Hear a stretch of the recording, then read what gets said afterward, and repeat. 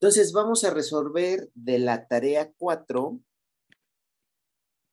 el problema 5, los dos incisos. Bueno, el primer inciso dice que determinemos la resistividad de eh, los materiales germanio, silicio y arsenuro de galio a 300 Kelvin. Quieren la resistividad de esos tres materiales intrínsecos. Ok, bueno. Recordemos que intrínsecos es cuando no están dopados. En ese caso, recuerden que la cantidad de portadores es eh, pues el valor intrínseco, punto, es NI, ¿ok? Entonces, para eso necesitamos consultar tablas, ¿ok? ¿Qué tablas podemos ocupar? Bueno, eh, hay o figuras, son tablas, más, bien son, no son tablas, son figuras. Ahí mismo en la tarea dice cuál es la que consultar, que son la 220 y la 3.5. Entonces, eh, vamos a buscarlas.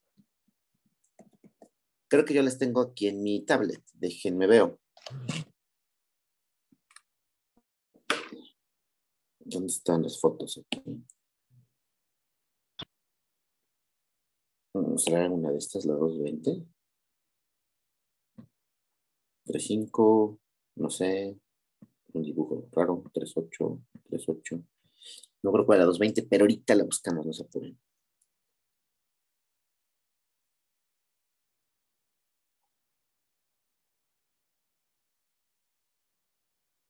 Figura 220.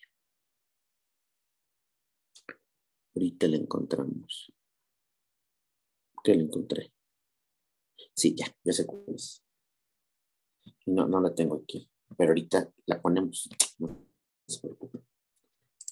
Rápido y fácil.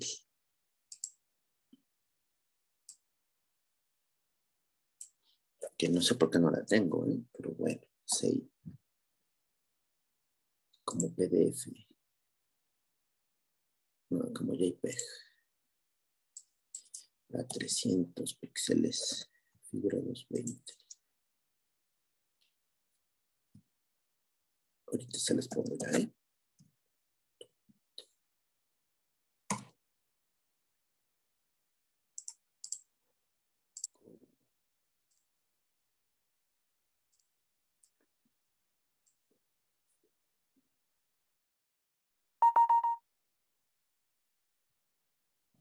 Es la figura 220. Entonces, eh, aquí se ve la concentración intrínseca de portadores de carga. Ahí dice, miren, concentración intrínseca de portadores de carga para galio, germanio y silicio. Entonces, ahí está. ok.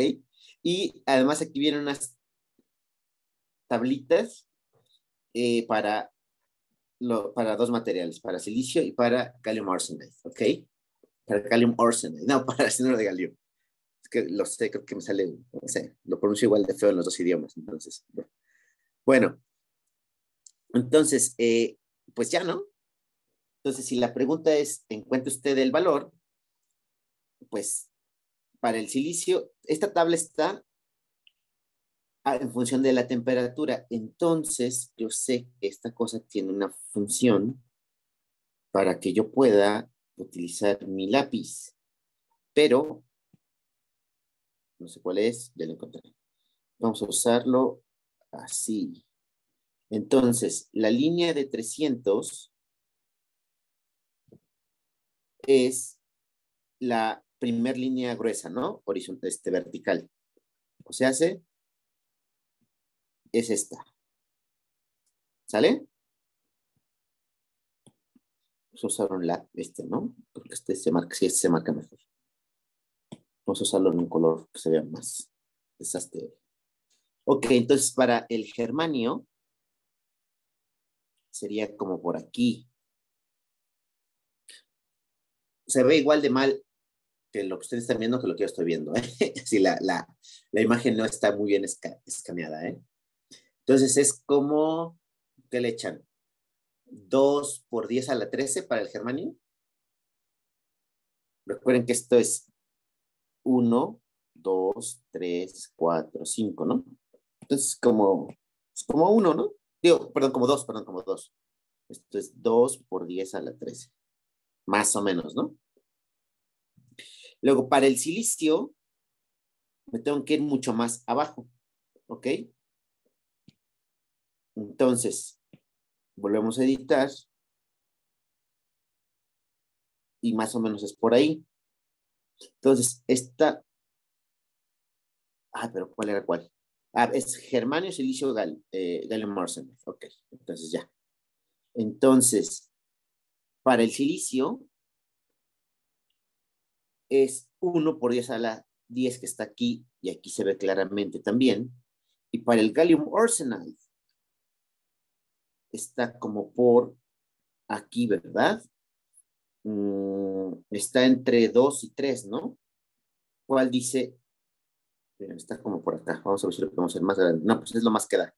Entonces yo le pondría 2, 2.5 yo le pondría, más o menos, como 2.5 por 10 a la 6. Ah, miren, bueno, ellos como tienen una gráfica mejor, tienen los datos exactos, pues ellos aquí ponen que es, perdón, 2.25 por 10 a la 6, ¿no? Bueno, que más o menos es lo que habíamos dicho, ¿no? Como son datos de gráficas, pues datos exactos no, nunca vamos a poder sacar, como alguna vez lo platicamos en eh, cálculo diferencial. Entonces, volvemos aquí y ya lo sacamos de las gráficas. Para el germanio, su concentración intrínseca quedamos que era eh, como de, ¿no te hemos dicho? ¿Quién, quién, lo, ¿Quién tomó nota? Espero que alguien haya tomado nota. Yo lo apunté que era de 2.5 por 10 a la 13, pero si no es exacto, es, ya quedamos por qué. Porque este, es una apreciación de la gráfica. No sé si me acuerdo que era 10 eh, a la 10, 1, por 10 a la 10, y para el gallium arsenide, la intrínseca es de 2.25, es lo que dice la tabla, ¿no? Aunque ya vimos que puede ser 2.5 o algo intermedio. Esa es eh, la, aclaro, esa es la concentración intrínseca, pero me están pidiendo la resistividad, ¿eh? Sin embargo, la resistividad se calcula con la fórmula 1 sobre Q mu n, n más mu pp. ¿Ok? Como estamos trabajando con intrínsecos y yo tengo esta relación para materiales intrínsecos, intrínsecos, como se diga en español, intrínsecos, con acento en la de ser no intrínsecos. Ajá. Entonces, eh, creo que la podemos simplificar del siguiente modo, ¿no? Va a ser Q N y P son lo mismo, ¿no? N y P son NI. Entonces quedaría mu N, perdón, quedaría mu N, NI, lo voy, a, lo voy a poner mejor abajo. Va a quedarme como 1 entre Q, mu N, NI más mu P, NI o puedo factorizar la NI, me quedaría QNI, movilidad N más movilidad P. Ya tengo la NI para mis tres materiales. Ahora me falta la movilidad de electrones y huecos para los tres materiales. Y eso está en la tabla, en la otra, en la 3.5, ¿verdad? En la 220 saqué en la figura 220 encontré la concentración intrínseca. Ahora, a 300 Kelvin, aclaro, ¿eh? También la pueden contar a, otras temperaturas. Miren. Acuérdense que esta viene como concentración intrínseca contra temperatura. Entonces puede ser a varias temperaturas. Si quieren la pidieron a 300. Ahora, necesito la movilidad. Para eso está la figura 3.5. ¿Sale? Entonces, la movilidad está en la figura 3.5. Entonces me voy a la figura 3.5, que esa sí la tenía desde hace rato. Esa figura es esta. Sí. Entonces aquí está para los tres materiales. En la parte, en la primera parte, digamos, aquí está para el silicio a 300 Kelvin. ¿Ok? Y en la parte de abajo está para eh, germanio y arsenuro de galio. Está tanto para electrones como huecos en ambas, ¿no? Bien. Ahora, eh, quiero que observen lo siguiente. Estas gráficas de movilidad están contra dopaje. Pero, pero, eh, en este caso, nuestro material no está dopado, ¿no? Es intrínseco. No sé si me explico. Entonces, ¿cómo puedo yo sacar la movilidad de, lo, de mi material intrínseco de estas gráficas? Por ejemplo, para el silicio, la que está proyectándose ahorita en la pantalla.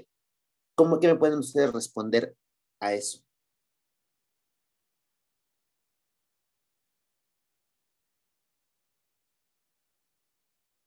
¿Cómo saco la movilidad del silicio, de los electrones en silicio a 300 Kelvin por un material intrínseco?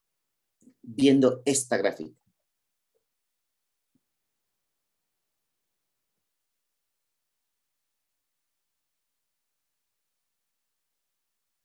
¿Alguien que me pueda dar esa respuesta?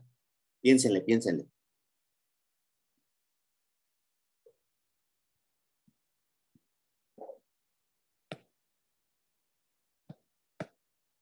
No, no me quiero borrar.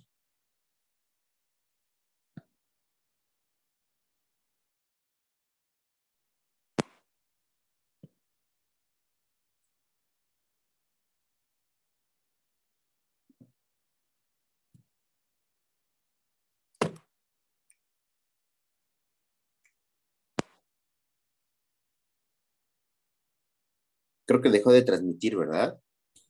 Ah, sí. Ok, está bien. Déjenlo, vuelvo a poner. A ver qué ocurrió. Mm.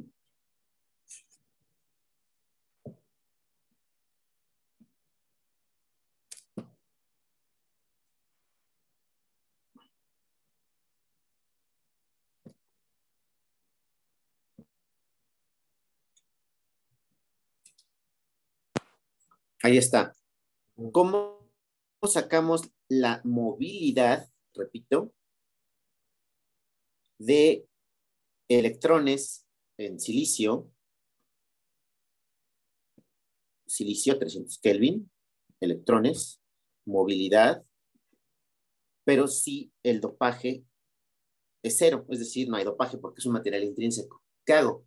¿Qué, qué, qué pueden ustedes decirme? A ver, piénsenle. Fíjense, conforme el dopaje aumenta para acá y disminuye para acá. Y aquí está la gráfica.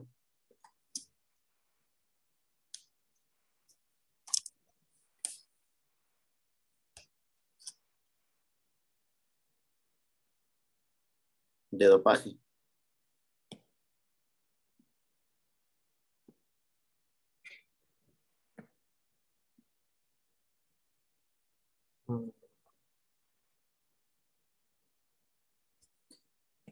¿Qué pasa si yo esta gráfica la siguiera hacia la izquierda? eh, ¿Mandé? aumentaría. No. Como aquí lo que tienen ustedes que más o menos hacer una inferencia es con el concepto de límite, ¿no? Mm, ¿Cuál sería el límite? Digo, es una suposición, ¿eh? El límite de mu n cuando nd tiende a cero.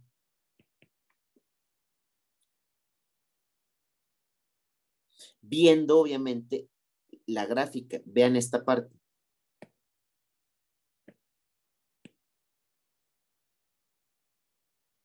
Si no es totalmente horizontal, eso es un hecho, pero sí es muy horizontal, ¿no? De hecho, lo mismo pasa con la movilidad de los huecos, miren. ¿Lo vieron? Observen. ¿Se dan cuenta que es- son prácticamente horizontales?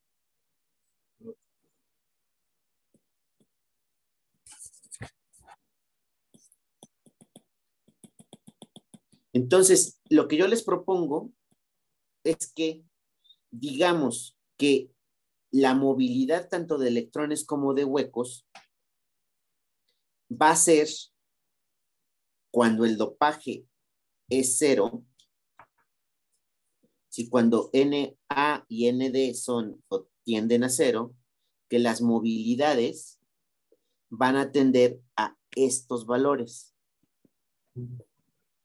¿Les parece esa, esa, esa propuesta, les parece algo que tenga sentido y que tenga lógica? Sí, porque se supone que en alto dopaje y menor movilidad. ¿no? Entonces, menor el dopaje, más movilidad. Miren, Bueno, eso recuerdo. En- exacto, en cambio, miren, aquí, obviamente con alto dopaje, vean cómo la movilidad sí sufre unos cambios bien bruscos, ¿ya vieron? Lo mismo pasa aquí abajo. Mm, ¿Sí? Entonces, mi propuesta es esa, que para bajos dopajes adoptemos estos valores. ¿Ok?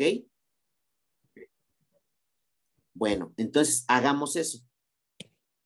Y para el caso del silicio, aquí los tenemos ya, miren. No se alcanza a ver súper bien, pero aquí dice, aquí dice 1 por 10 a la 14. Y aquí dice que para los electrones es 1358 y para los huecos es 461. ¿Ok?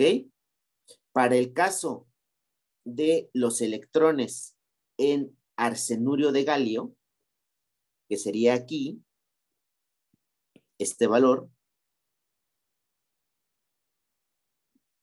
vamos a contar. Es 1, 2, 3, 4, 5, 6, 7, 8. ¿Sí? Por 10 a la 3, ¿ya vieron? 8000. Eso es la movilidad de los electrones en gas.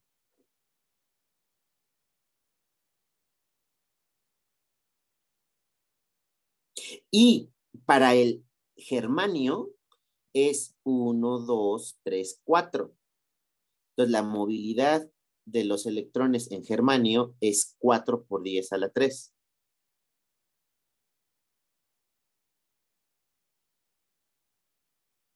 ¿Están de acuerdo conmigo? Sí. Aquí. Bien. Ahora, mente uso los colores al, al, al revés. Suelo usar azul para electrones y rojo para huecos, pero bueno, ya. Ahora, para los huecos en germanio, es aquí, que está entre 1 y 2. ¿Les parece si le ponemos que sea 1.9 por 10 a la 3 para los, la movilidad de huecos en germanio? Digo, yo les estoy calculando que es 1.9, puede ser, ustedes le pueden poner si quieren, lo pueden redondear a 2 o ponerle 1.8. Lo que, recuerden que es una escala logarítmica, entonces no es lineal. ¿Sale? Y finalmente, los huecos en arsenuro de galio, que es 1, 2, 3, 4. Aquí, 4 por 10 a la 2 es la movilidad de los huecos en gas. ¿Sí?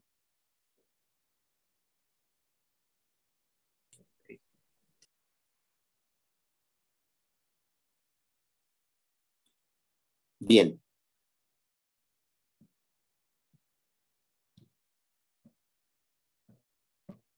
dibujo no le hago caso, es otra cosa. Muy bien, entonces, eh, pues ya. Le, nos regresamos a nuestra... No, está ¿verdad? Regresamos aquí, volvemos a poner aquí. La muene y de hecho son los valores máximos, ¿verdad? Porque son los valores más grandes que pueden tomar esas, esas movilidades. Vamos a poner aquí max, ¿no? Para todos. Eh, esperen. Max. Vamos a ponerlo para el germanio, el silicio y el gas. gas. Vamos a ponerle muene y mupe. Entonces, para el germanio, quedamos es que es 4000, ¿no? Más o menos. Aquí este 1358. ¿Por qué con tanta exactitud? Porque lo vimos en la tabla, ¿verdad? Y aquí es 8000. Aquí es 1900. Aquí vimos que es como 400. Y aquí vimos que es como 4000. Este valor en algún lugar. Ah, perdón. Este, este habíamos visto, según yo, en la, en la tablita, que es 461, perdón. ¿Ok? Ahora, ¿cuánto vale la resistividad? Ah, bueno, pues hay que hacer el cálculo con la formulita de aquí, ¿no? Y pues eso, eso ya es calculadora, ¿no? Como bien lo acabo de decir. Digo, si la encontrara, pues sería mucho más fácil. Por ejemplo, para el caso del germanio, pongo 1 entre la carga del electrón, pero vamos a ver si lo podemos dejar en... Oh, no, creo que sí lo tenemos. A ver, déjame ver si lo podemos manejar en... ¿Qué unidades lo manejaremos?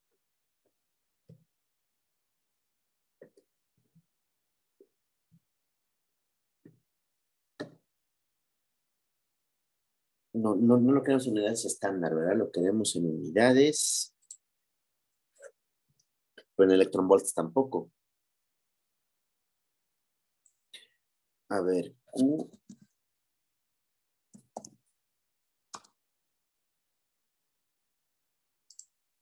Vamos a ver si tenemos, vamos a ver qué, qué carga del electrón vamos a ocupar. ¿Qué valor de K? Electrón.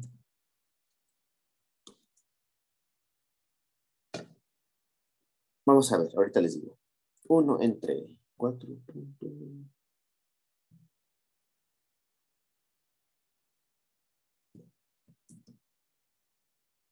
NI para el germanio es 2.5, quedamos a la 13 por la suma de las movilidades del germanio que son 5.900 más o menos, ¿no?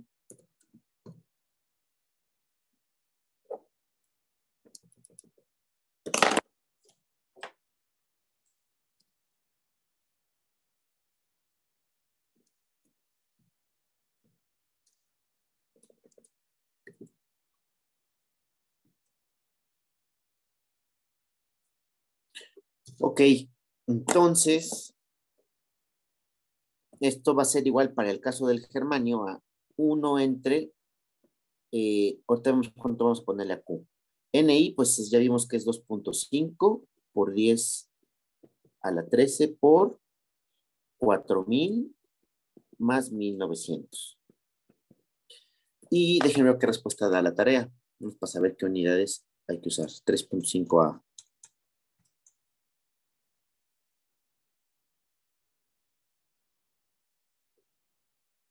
Un centímetro. Ok. 42.4 ohm centímetro.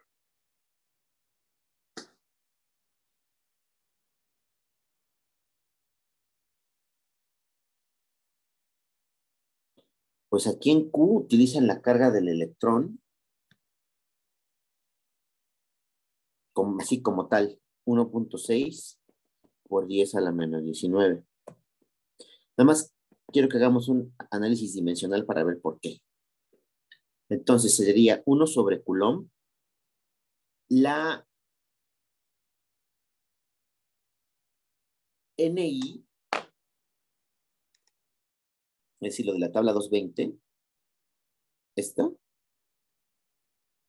se da en centímetros a la menos 3, ¿sale?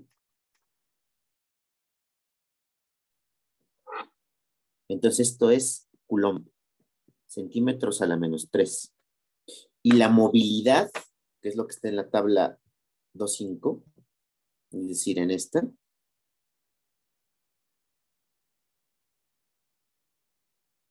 Ah, espérenme, puede ser que ambas estén centímetros a la menos 3. Entonces, espérenme, algo.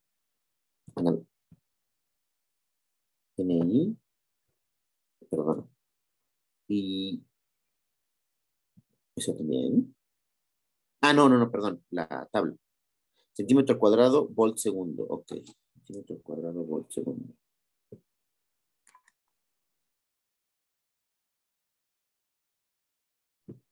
Entonces, esta es en centímetro cuadrado volt segundo.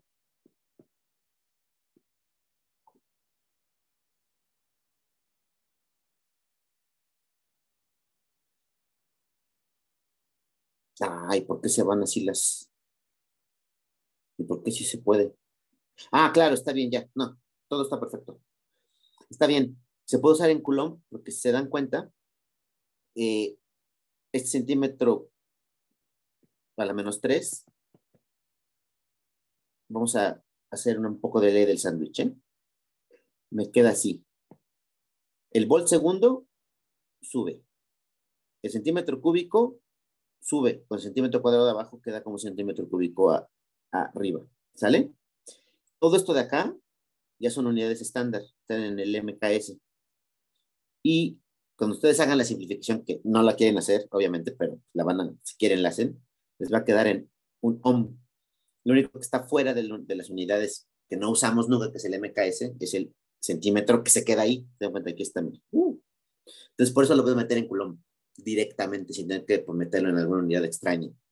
¿Sale? Entonces, por eso se pudo meter directamente en Coulomb. Para silicio y galciano de galio lo pueden hacer también. ¿Sale? Nada más meten valores y ya. ¿Alguna duda de este? No. Vamos a hacer el inciso P rápidamente.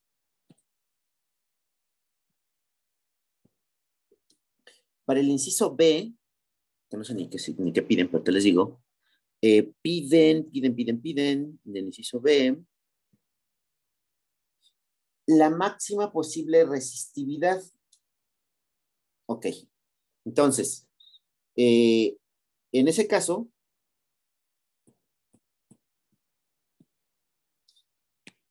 tarea 4, perdón, problema 5B. Entonces quieren Rho max. Bueno, en ese caso, usamos esta fórmula. Obviamente, si quieren la máxima posible resistividad, eh, eso va a estar asociado a una movilidad baja. ¿Sale? Movilidad baja quiere decir que, que los electrones se mueven más lento, ¿no? Baja movilidad. Eso quiere decir que la resistividad es grande. Entonces, a más baja movilidad, mayor resistividad porque ya es lógica ahí. Entonces, la fórmula no, que usamos hace rato no, no aplica, no estamos en el régimen intrínseco. Por el contrario, estamos en un régimen que no es el intrínseco y esta es la fórmula que aplica. Ok. Bueno, la fórmula de resistividad que ocupamos, pues es la única que hay, ¿no? Mu NN más mu PP. Pero, pero, vamos a ya sea despejar P o despejar N de aquí. Vamos a despejar P. P es igual a NI cuadrada sobre N. Y la vamos a meter acá. Entonces nos queda 1 sobre Q mu NN más mu P NI cuadrada sobre N. ¿Ok?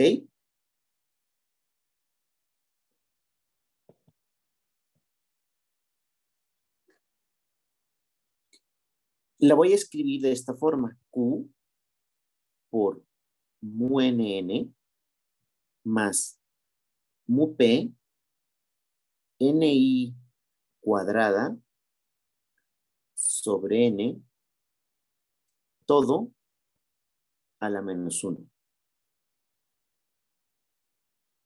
¿Ok? Ahora, como están pidiendo algo que es max, si yo quiero maximizar o u optimizar alguna variable, recuerden que la resistividad varía con la concentración de portadores de carga y eso a su vez está relacionado al dopaje. Entonces lo que yo tengo que hacer es derivar la resistividad con respecto a una sola variable. Por eso aquí hice un despeje, para dejarlo no con dos variables, sino con solo una. Entonces derivo esta expresión.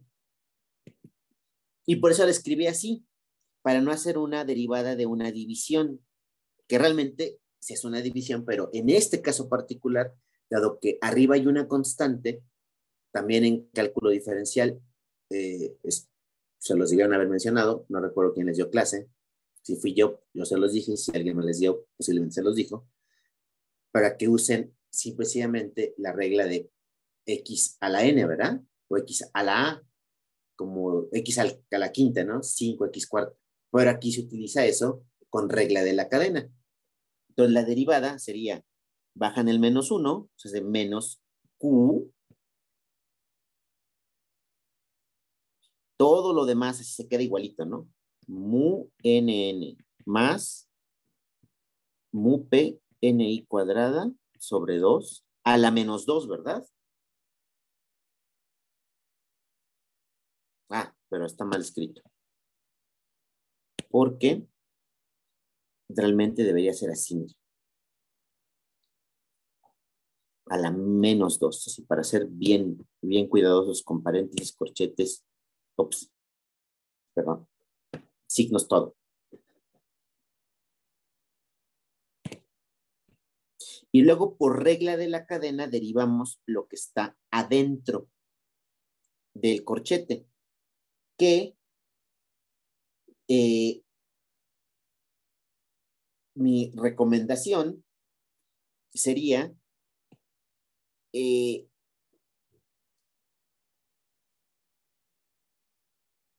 hacerlo del siguiente modo.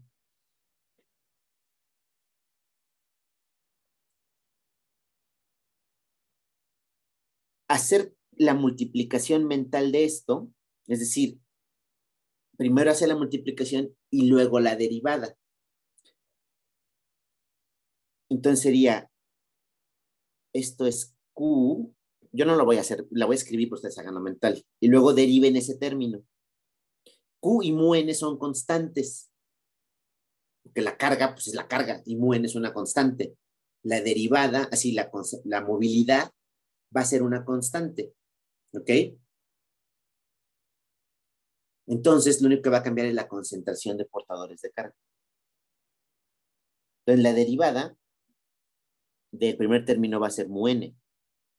Y aquí va a ser q mu p ni cuadrada sobre n.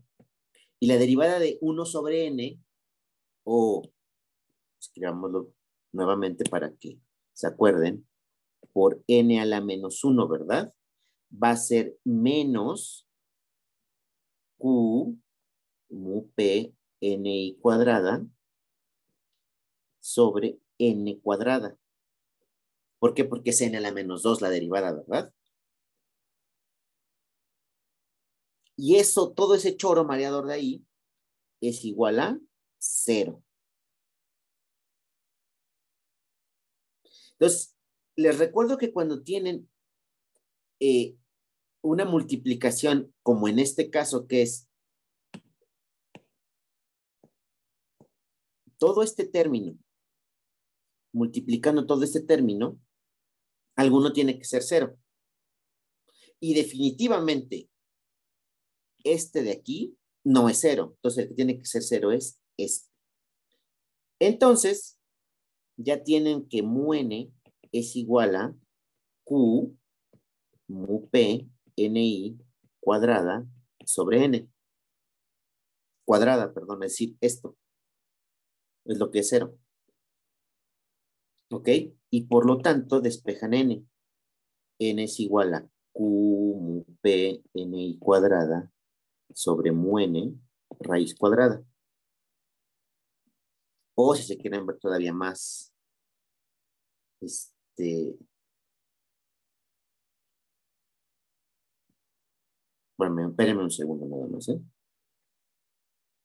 Ah, perdón, esta Q no sé dónde me la inventé yo, porque se cuesta afuera. Entonces, este. Ah, no, no, no, este sí está, perdón, no, sí está, sí está, sí está, sí está. Este, está en ambas, de hecho. Nada más le voy a decir qué, pasa. Aquí está la Q y aquí está la Q. Es que cuando, cuando igualan a, a cero, la Q se cancela. Ya, es lo que pasó. Entonces, por eso es que aquí no debe estar. O es NI raíz cuadrada de la, de la fracción o de la razón de las movilidades. Entonces, con eso, ustedes ya saben que la Rho máxima va a ser igual a un mega choro, que es, se va a convertir en algo mucho más tranquilo.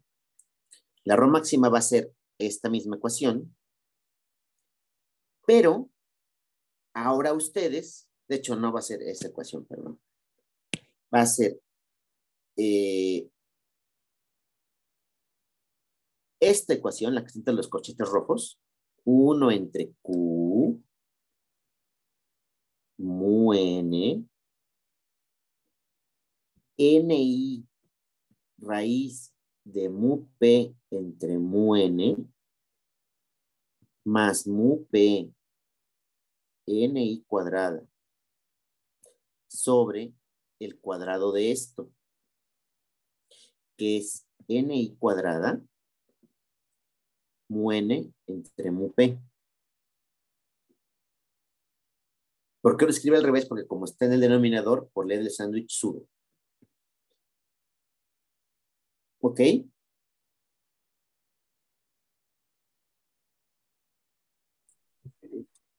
Pero nada más déjenme ver que no. Ah, no, pero no está al cuadrado. Discúlpenme, no sé por qué lo elevé yo al cuadrado. Eso fue, este, esperen. Eh, eh, eh, no, sí está bien, ¿no? No, espérenme tantito. La, la, la, la, la, n cuadrada entre n. n cuadrada entre n. n cuadrada entre n. n es ni perdón, va así, entre i. Sí, no, perdón, estoy sustituyendo esta por esta. Entonces me equivoqué. Es ni y queda raíz, perdón, de mu n entre mu p. Se escribe al, revés porque está en el denominador y al hacer la ley del sándwich eh, ya se escribe así. Este se puede simplificar, hay que hacer la, simplificación. Vean que hay una raíz cuadrada eh, ven que, bueno, en el denominador está esa, esa, raíz, esa, raíz, esa raíz cuadrada. Eh, Aquí se puede, se puede cancelar esta NI con esta, etcétera. ¿Qué más? Uh, déjenme ver, que no se me esté yendo nada.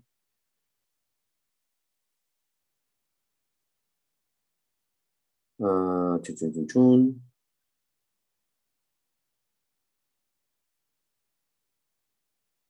Uh, No, pues no, nada. Entonces, eh, pues esta sería la Pmax. Ustedes pueden simplificarla ya eso ya no lo vamos a hacer aquí para hacer otra cosa. Y nos quedaría este resultado. Que pues sí se ve un poco más bonito, ¿verdad? Pero finalmente es lo mismo. Eh, esa es la resistividad máxima. ¿Ok? Depende del, mate, del material que ustedes seleccionen. Silicio, germanio o arsenuro de galio. ¿Ok? Eh, y bueno, pues ya se escogerán ustedes las movilidades que eh, de hace, bueno, de hecho que hace rato escribimos las las de la tablita. O sea, hace estas. acá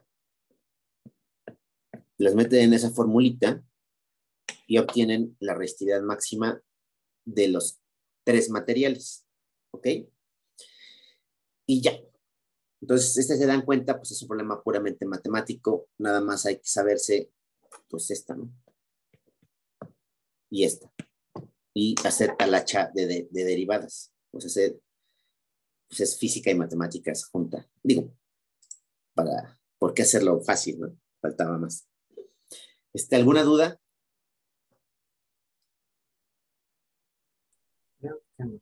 No, ninguna. Ok. Em, bueno, este, ¿alguna duda de algún otro problema de la tarea o de algún otro tema o de alguna otra cosa, lo que sea?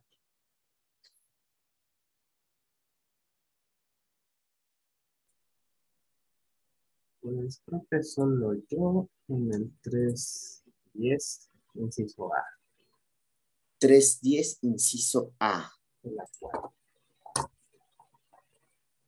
310, inciso A.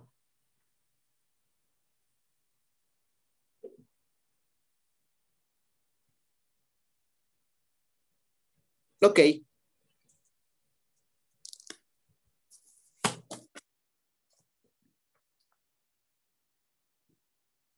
Entonces, hay que hacer un dispositivo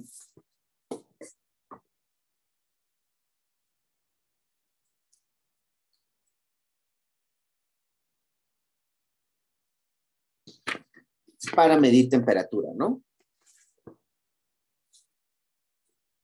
Y nos piden algunas cosas. Entonces, vamos a utilizar, ese, perdón, es la tarea 4, problema 10, inciso A. Entonces, el problema es un, todo un choro de que hagas un, este, construyan un sensor de temperatura para que miden del rango de 30 a 40 grados, ¿no? Centígrados. Y le vamos a, vamos a utilizar una barra de silicio. barra de silicio. ¿Sale? Ok.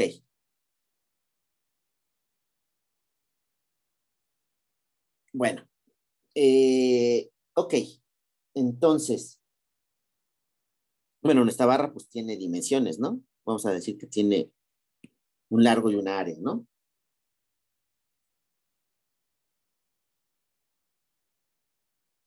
Y lo que vamos a medir como dice el problema, es que vamos a medir resistencia, vamos a medir R. Es lo que vamos a medir, R de resistencia, sí, vamos a medir ohms. De hecho, de 1 a 1000 ohms. lo que dice el inciso A. ¿Ok? Bueno, entonces, eh, la, temperatura que vamos a medir está entre menos 30 y 40, ¿no? Más o menos. Que les recuerdo, como son centígrados, eso, pues, esa, esa escala, pues, no es así como que la buena. Entonces, realmente son 303 Kelvin. Perdón, no es cierto, estoy bien malito. Perdón, son, son 300, 243, perdón, Kelvin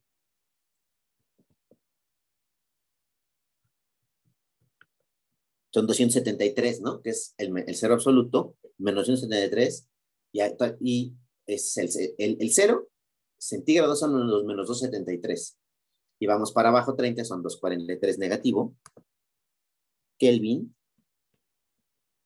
y 40 serían 273 más 40, o sea, hace 313 Kelvin. Más para que recordemos que se miden Kelvin, ¿eh? Ok. En Kelvin. Estos son grados centígrados. Ok. Entonces, mmm, bueno, a ver, vamos a, aquí hay que inventarse pues algunas medidas.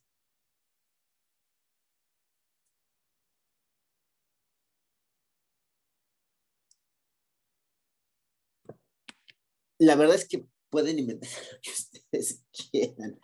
Entonces, eh, eh, se dan cuenta ustedes en, las en, la en la respuesta, no viene ni las medidas en el CISO A, ni en el B, ni en el C, solo en el 11. Ah, no, perdón, así no, no viene, no viene una respuesta como tal, ¿no? Porque ustedes inventan las medidas que ustedes quieran. ¿Ok? Entonces, yo les voy a proponer unas medidas, un área de un milímetro y una L de un centímetro. ¿Sale?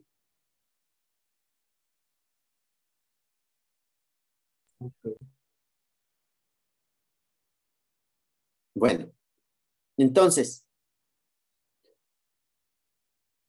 pero pues vamos a ver cómo jala esto. Ahora, perdón, el área no es un milímetro. El área es un milímetro por un milímetro, porque pues, un milímetro no es medida de área, ¿verdad? O sea, es punto un centímetros al cuadrado, ¿ok? Es punto cero un centímetros cuadrados. También conocido como 1 por 10 a la 2 menos 2 centímetros cuadrados. Recuerden que usamos el centímetro como unidad, ¿eh? Por eso es que, aunque yo escribo un milímetro, esa como la, digamos, como lado, porque es un cuadrado. Pues esto es un cuadrado, aunque usted no lo crea. Es, este, no sé, lado por lado, A por A. Su área es 1 por 10 a la menos 2 centímetros. ¿Ok? Bueno, si yo quiero que R sea igual a 1000, entonces, la resistividad, ¿cómo se relaciona con eso? Pues hay una fórmula, ¿no? O sea, ya estoy seguro que la vimos. La resistividad, pues debe ser A, que es 10 a la menos 2 por 1000 entre 1. O sea, hace 10, ¿no? Ohm centímetro. Esa es la resistividad para el caso de 1000. Y la resistividad en el caso de 1, entonces usando esos valores, pues sería otra vez 10 a la menos 2 por 1 entre 1, se hace 10 a la menos 2 um, centímetro. Estas resistividades tienen una correspondencia con un dopaje. Recuerden que hay una, correspondencia entre dopaje y resistividad. Y esa la podemos ver en una figura, en la figura 3.8. Solo tenemos que elegir qué tipo de, de semiconductores, si tipo N o tipo P. Veamos la figura 3.8, que según yo la tengo aquí. Yo espero tenerla. A ver, 3.8. ¿Será esta? Sí, este es para silicio. Ok.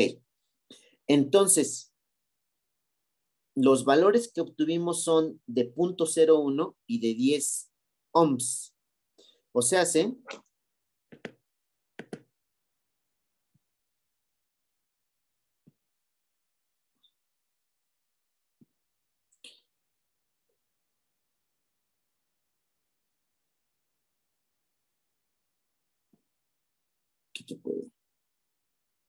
¿Cómo se oculta esto?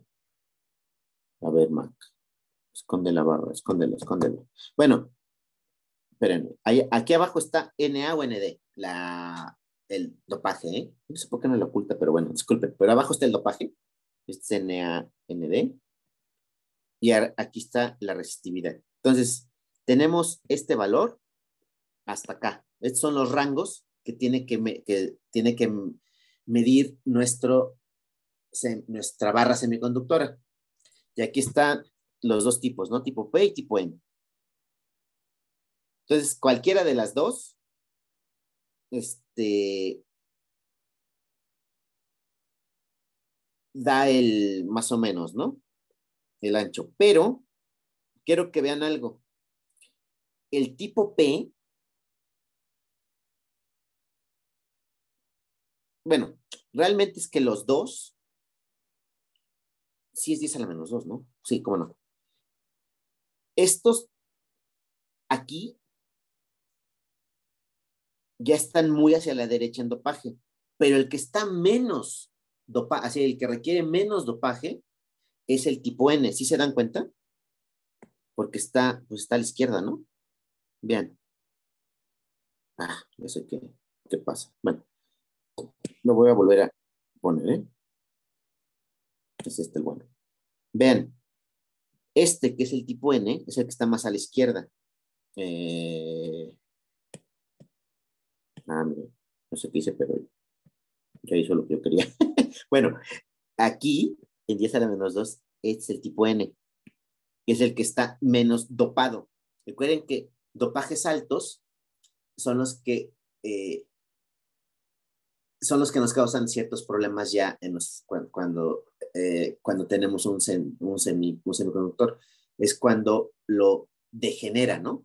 Entonces, no queremos tanto dopaje, ¿no? Tanta saturación de dopaje. Entonces, en mi opinión, deberíamos irnos por un tipo N, porque el tipo P ya llega incluso a, a 10 a la 19, ¿ya vieron? Miren. Entonces, mi opinión es seleccionar un tipo N para nuestro sensor, porque queremos que mide desde un ohm, ¿no? Entonces, hagamos eso, seleccionemos un tipo N. Y veamos qué dopaje requiere para el, un ohm, que en este caso es aquí. Y el dopaje que requiere es 2, 3, 4 por 10 a la 18. ¿Qué sería el ND para un ohm? Centímetro. No, para, para un ohm, perdón, para un, para un ohm nada más, para un ohm. Mientras que necesitamos que sea 10 ohm centímetro, ¿no? La, la resistividad, o sea, sea aquí, más o menos aquí, sería esta barra, 10 a la 14, ok. 1 por 10 a la 14, 2 por 10 a la 14, 3 por 10 a la 14, 4 por 10 a la 14. Está como en 4.5 por 10 a la 14. Les, les parece, miren. Vamos a borrar aquí. Miren, está más o menos en medio. Digo, recuerden que es una gráfica, entonces es difícil decirlo de manera exacta. pero está más o menos entre la cuarta y la quinta línea. Entonces es como 4.5, yo diría, por 10 a la 14. Entonces es 4.5 por 10 a la 14 y 4 por 10 a la 18.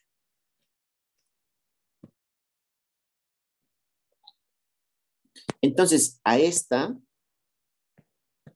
le corresponde una ND de 4.5 por 10 a la 14 y a esta una ND de 4 por 10 a la 18. ¿Ok? ¿Qué, vamos a hacer? Son dopajes distintos, ¿no? Y es una sola barra. Lo que vamos a hacer es vamos a sacar el promedio. El promedio, pues más o menos es de un dopaje de 10 a la 16. Se dan cuenta en 14, 10 y este, 18, su promedio es 16, ¿no? Y la magnitud pues, es más o menos la misma, ¿no? Es 4.5 y 4. Entonces el promedio de eso pues, es 4. Entonces realmente si lo quieren poner así muy así bien, sería como 4 por 10 a la 16 el promedio. ¿Ok?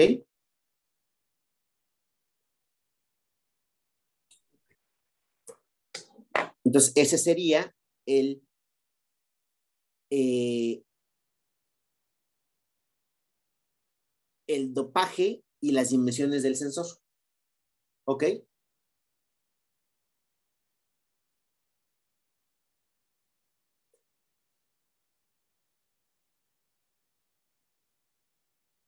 Ah, de hecho, ahí vienen las dimensiones. Bueno, no me había fijado. Este, acá están las dimensiones uno por uno por un, por un centímetro. ahí está la, ahí está cómo sacan el dopaje. Para el inciso B, que es eh, sacar la, la sensitividad, pues ahí dice cómo, ¿no? De hecho, tienen que derivar la resistencia. Y la resistencia aquí está, este, aquí está la fórmula. Entonces, nada más deriven la resistencia. Ve que esa es la fórmula.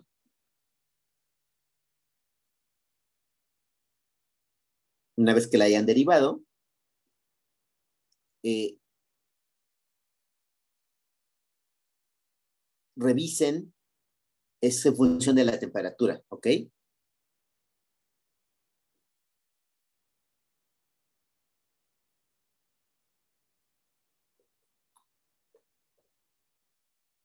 Bueno, ¿quieren que haga el inciso B o lo dejo ahí? O nada más se los platico. Sí, si quieren, sí sabe. bueno, ándele. En el caso del inciso B, tarea 4, 10B, y sabiendo que la fórmula era R es igual a, no es cierto, Rho es igual a R. Bueno, AR, ¿no? AR entre L, me piden la, sensitividad de espejo R, que es rho L sobre A,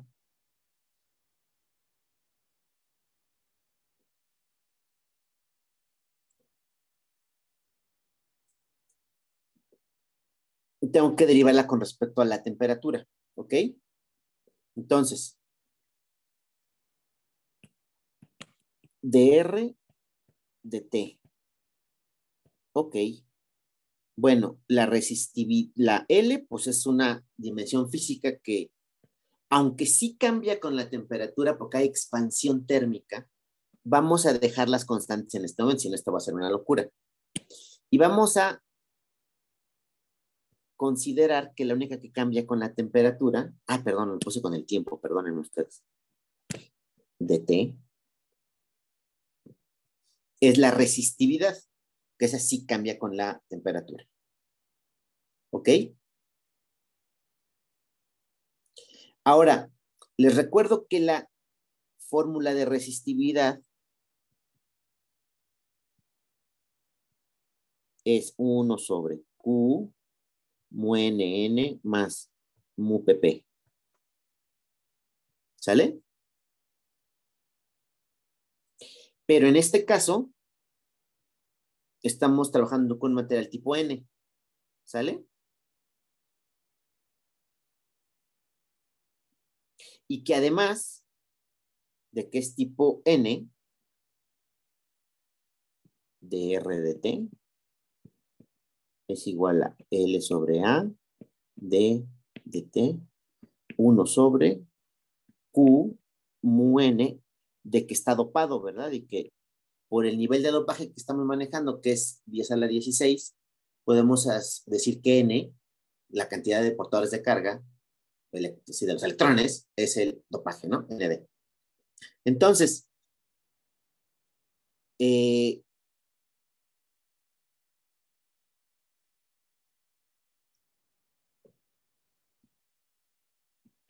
de aquí, tanto la Q como la ND son constantes. ¿Ok? Entonces, sí, esta y esta, sí, el dopaje, la ND.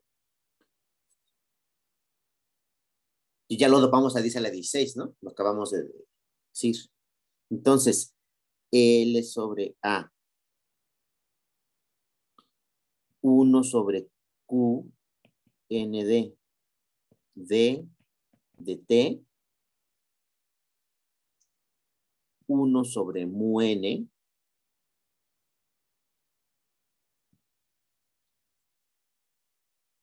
Y así me quedaría, ¿no?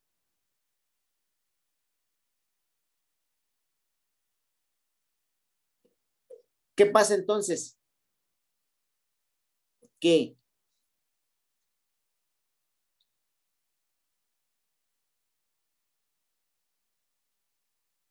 si yo hago un pequeño cambio, si, yo hago eh, pequeño cambio en muene,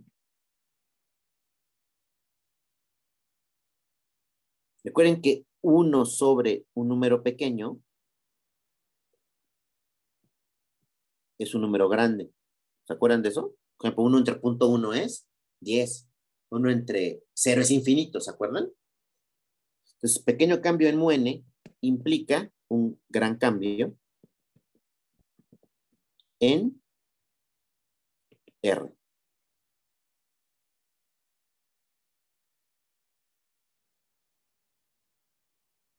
¿Ok?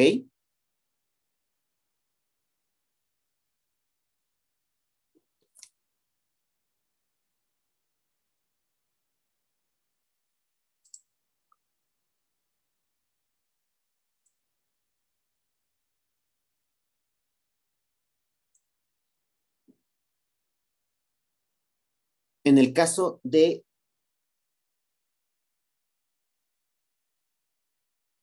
bueno, este es, este es digamos, una, este, este es, este es, una, digamos, consecuencia de lo que, de lo que, de lo que acabamos de decir, ¿no? Veamos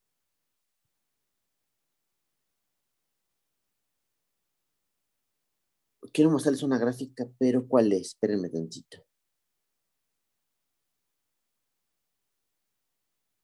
Déjenme la, busco la gráfica 3.7a, a ver si la tengo a la mano. Si no, se las paso.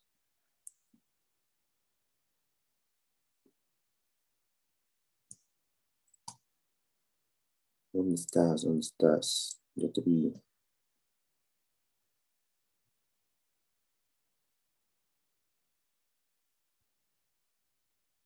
No, ya me pasé horrible. Estoy en la 21, jaja, pobrecito.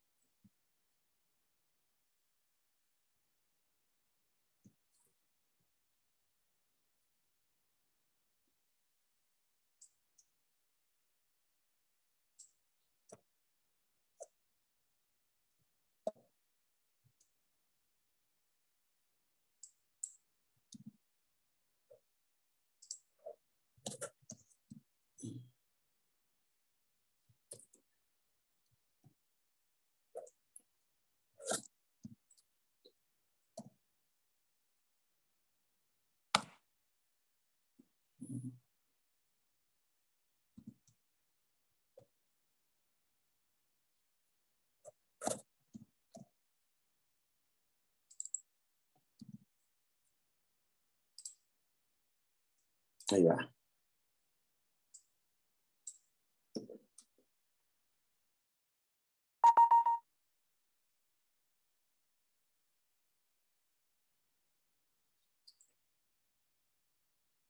Entonces, eh, si hay un pequeño cambio en, es en, el, es ¿no? Aquí está la gráfica que muestra la dependencia entre la movilidad y la, y la temperatura, que es lo que nos están preguntando, de hecho.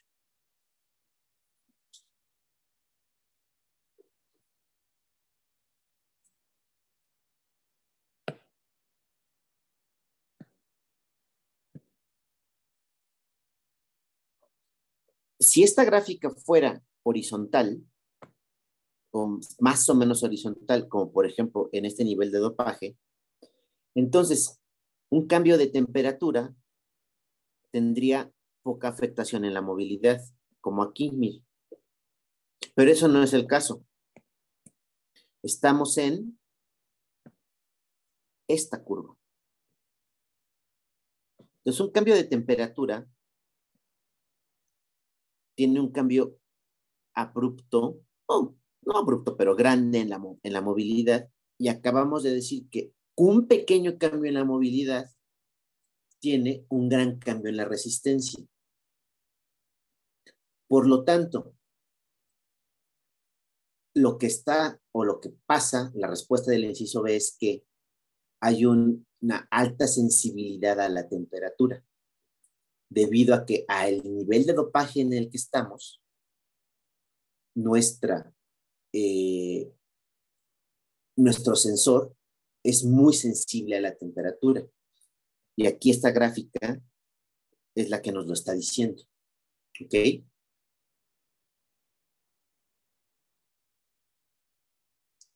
Y ya, nomás. Recuerden que el dopaje, repito, es una constante porque nosotros lo pusimos, nosotros al crear nuestro material, nosotros pues pusimos el, este, nosotros pusimos cuántos, eh, cuántos este, donantes, donors queríamos en nuestro material. Por eso es que todo esto salió de la derivada. Lo único que se quedó adentro fue la movilidad. La movilidad depende de la temperatura. Y esa es la que se quedó adentro. Y pues ya, ese sería el inciso B. ¿Alguna otra duda, estimados, queridos alumnos? No, creo que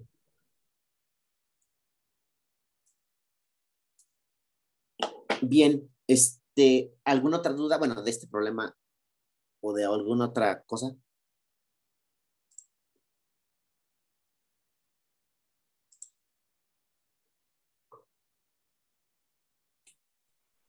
De mi parte creo que ya. ¿Mande? De mi parte creo que ya no. Ok. Yo Creo lo que que... no. Ah, ok. Sí, Diana. Este, Abacuc. Eh, no, ninguna. Ok. Yo lo único que me resta por hacer es, este, revisar la tarea 5 para ver qué, no es, qué, proble- qué problemas, porque seguro que sí hay, ¿eh? Eh, no deben hacer. Bueno, no es que no deban, sino que no pueden hacer porque no acabamos. Eh, entonces, según yo no son muchos, creo que nada más es uno, el 313, pero no, sí, el 3, cre- creo, ¿eh? Pero lo voy a revisar bien. Eh, porque no acabamos RG. Entonces, puede ser, puede ser que alguno de ellos no lo sé que son cuatro, pero bueno. em, de la tarea 5. Y ya con eso, pues ya sería todo. Y este, y pues ya, y pues vernos para el examen.